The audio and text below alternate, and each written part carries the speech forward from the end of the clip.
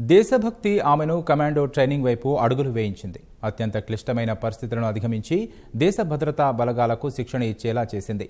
మహిళ అని వెనుకడుగు వేయలేదు. విభిన్న రంగమని ఆందోళన చెందలేదు.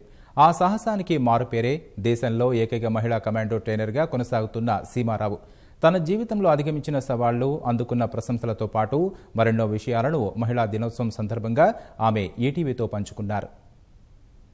ప్రస్తుతం మనతో ఉన్నారు. అంతర్జాతీయ మహిళా దినోత్సవాన్ని పురస్కరించుకొని ఒక మహిళగా డిఫరెంట్ అండ్ అదేవిధంగా డిఫికల్ట్గా ఉండేటువంటి ఆ విభాగ విభాగాన్ని చూస్ చేసుకొని అండ్ దాంట్లో ఇరవై ఏళ్ళకు పైగా కొనసాగుతున్నటువంటి ఆవిడ అనుభవాల గురించి ఆవిడ మాటలు తెలుసుకున్నాం నమస్తే ma'am. First of all I wish a very happy women's day. So what is your definition for women's day that she has many duties, uh, many roles to fulfill, and yet, uh, you know, most of us are doing a wonderful job of it. So we need to be proud that we are women. You know, you are the first and one and only woman combat trainer in India. So, uh, what made you to start your career towards that? And because you are educationally, you are a doctor, and you are a beauty pageant, and so what uh, turned toward turned you towards that uh, combat training? You know, it is uh, life is very strange. Uh, life, destiny, whatever you call it. You start off in one direction, but then eventually life takes you somewhere else. But let me say that probably, uh, you know, subconsciously, I always wanted to do something for the country because of my patriotic father's influence on my mind. So uh, that probably led me to, you know, uh, change uh, where I was going, and that it was uh, certain capabilities, certain qualifications, and an opportunity that happened, and my life just changed. And you know, uh, professionally, doctor's career is, I think, every girl wants to be. Most of the girls in that time, At at that least time, 30, 40 years back, yes. everybody wants to become an engineer or doctor. Yeah. But it is completely different thing, and where women can't even imagine at that time. So, who supported you when you want to go to that combat training and all? Uh, let me say that uh, yeah, there are a lot of impossible things always in life for everybody, male or female.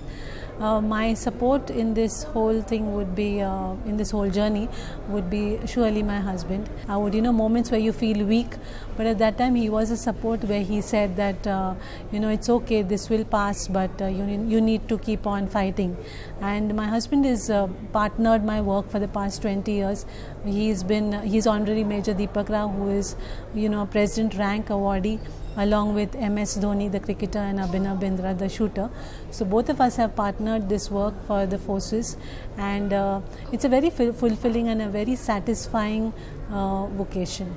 While you're telling that, uh, you mentioned about your husband's uh, awards, but you didn't mention about your Nari Shakti Puraskar. Yeah. It's the highest civilian award for a woman. Yeah. How you felt when you got that award? Uh, let me just say one thing that for me awards have not really uh, mattered because uh, it's my work i'm involved with my work i'm doing well and people acknowledge it. It's very nice. Uh, having said that but to receive it from our uh, honorable president from his hands was a moment of where i felt very honored to receive it from his hands. You are the perfect example for Dare. I think so. And your Thank daughter you. is also doing some program on the name there. So, whose suggestion is that? You know, um, I thought to myself long time back, I'm very uh, inspired or rather very moved by the concept or the cause of woman empowerment. Uh, so I, when that happened, you know, like a lot of rapes happening in the corporate sector and rapes and then murders, etc. So I thought that women need to be empowered, and I've spent a very long time in combat arts. So I thought, why not come up with a program? Uh, I called the program DARE. Uh, so I devised the program, and it is surely a program which makes a woman feel very self-reliant, especially if a woman is traveling late at night or you know returning back from a job late. So she will feel very confident about herself. Uh, when she knows that she can take care of uh, a situation where a man is trying to overpower her or you know uh, do do something to her. So so that's why I devised this program, and uh, this program is run by my daughter, who's very much, uh, you know, uh, in it. My daughter is an MMA fighter, and she is one of the few women to have uh, beaten up a man in a cage in Germany. So uh, she is also very motivated by this cause. Uh, is that motivation from you? Can we say that? Uh, to some extent, yes, I'll take the credit, but not all of it. A lot of it is also her own, uh, her own mind and her whole own heart uh, that is uh, makes her do what she does. So, in your life, if we see, you, you started your career in beauty pageants where the woman looks very stunning and works with makeup and all, and then you turn where the place no makeup works and very difficult and tough too. Yeah, I So didn't. I didn't start my uh, work in the beauty uh, field because uh, that was just one uh, chance uh, opportunity where somebody said that why don't I go for the beauty pageant, and uh, obviously I didn't want to go in for that because I'm completely into my profession of commando training. But someone said that why don't you try uh, going for that because it was a Mrs. India uh, pageant. So uh, somebody, my husband put up, uh, filled a form, and then I went there. And I obviously didn't want to go, and I thought they'll disqualify me and I'll come back home. But uh, they went ahead and they said you have to come. They made me walk a little. They interviewed me and said you're on, so you come for the training, etc.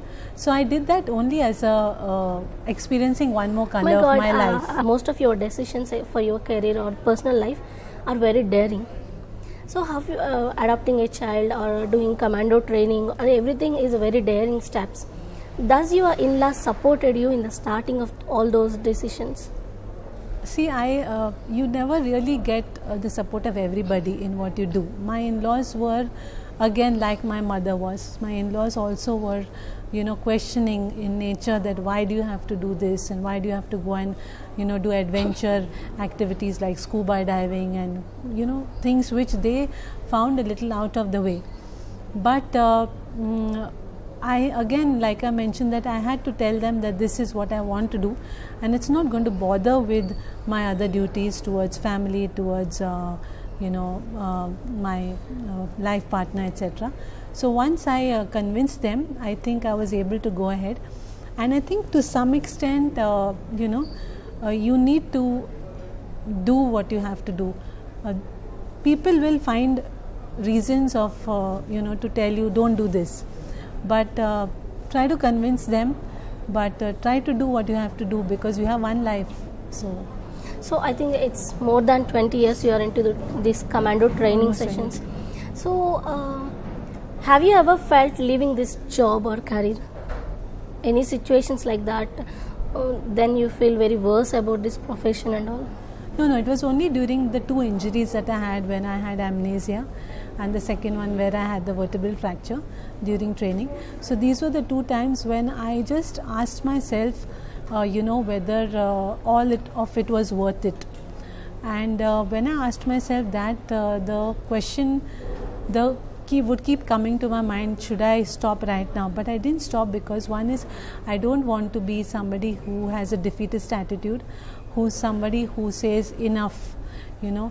Uh, because i was very influenced by the saying you can be down but not out which means that you may have you may fall down a million times uh, but you have to keep standing up and you have to keep fighting it out so uh, this is what i feel and uh, yeah How the percentages of women into the forces when you start your career and now? Any difference between the percentage of the women or uh, into these forces? I, I think I think uh, a lot more women are joining the forces, and uh, you know because compared to the past maybe, and I think because women are uh, joining, they are becoming very proactive, so they are joining a lot of different fields as well. So I think it's good. No, ma'am. This uh, this year's Women's Day concept is equality. Yeah. So, according to you, where the equality must start from? Is that from home or the society or the workplace? Any? Yes, to some extent, equality should start from home. Uh, women should uh, start uh, asserting for their rights. People are becoming, uh, people are understanding that uh, you know women are reaching places. So, you know, uh, families are changing. They are allowing their daughters, their daughter-in-laws to do good work. So, times are changing for the better. A lot of people are, men and women, are believing in women empowerment. So we have a very uh, good future where a lot of women will be uh, empowering themselves and doing what they want to do, and men too will be uh, having a very understanding uh, side. in even 21st century there are so many uh, abuses or the rape situations are happen to the women so how can we see these situations and what a woman must do when she finds some threat from some other people what she must do The, the first thing that every woman, I think every woman should do, is she should learn how to defend herself.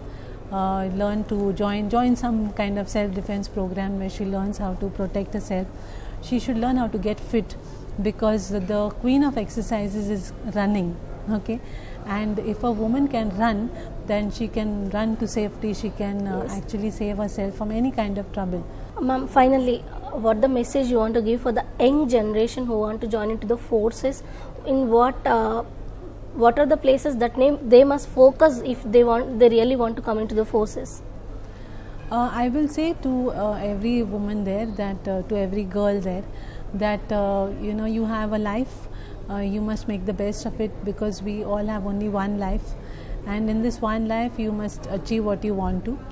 Uh, joining the forces yes joining the corporate sector everything is good okay?